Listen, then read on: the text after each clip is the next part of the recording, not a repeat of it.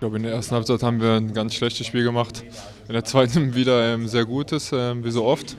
Ähm, wir verpennen zurzeit immer die erste Halbzeit.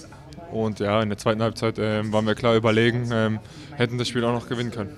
Sehr schade, dass wir das Spiel nicht gewinnen konnten, weil wir uns sehr, sehr viel vorgenommen haben. Vielleicht haben wir uns zu viel vorgenommen, das ist jetzt keine Entschuldigung, aber erste Halbzeit war einfach viel zu wenig von, von, von allem, einfach von der Laufbereitschaft her, von der Spielfreude, vom Engagement. Das war einfach zu wenig, das haben wir in der Halbzeit angesprochen.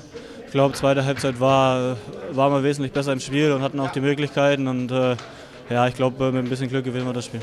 Es war äh, eben, wie gesagt, ähm, sehr zweikampfbetont. Ähm, vor allem die erste Halbzeit, ähm, danach auch die zweite Halbzeit, wo wir eigentlich besser im Spiel waren.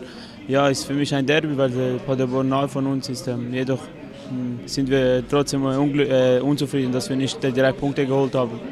Ja, war natürlich äh, toll, wieder vor ausverkauftem Haus zu spielen. Unsere Fans machen immer Alarm, auch wenn es ausverkauft ist. Also die, die immer da sind, die machen immer gut Druck. Erste Halbzeit hatte es ein bisschen ja, Grund. Äh, ja, die, die, die Stimmung hat man gemerkt, die war auch ein bisschen unzufrieden, nicht nur auf dem Platz, sondern auch auf den Rängen. Aber zweite Halbzeit, glaube ich, äh, haben wir auf dem Platz Gas gegeben und die Zuschauer sind dann ja, mitgegangen und haben uns äh, nach vorne ja, gepeitscht. Leider hat es nur zu einem Tor gereicht. Fans sind immer, stehen immer hinter uns und das ist äh, enorm wichtig, gerade wenn es so eine erste Halbzeit ist, wo es mal nicht so läuft.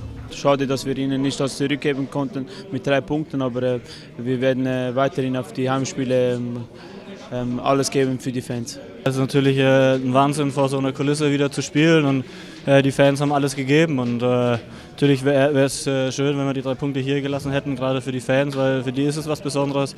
Ähm, ja, wie gesagt, wir sind etwas enttäuscht, dass wir, nicht nur etwas enttäuscht, wir sind enttäuscht, dass wir das Spiel nicht gewinnen konnten.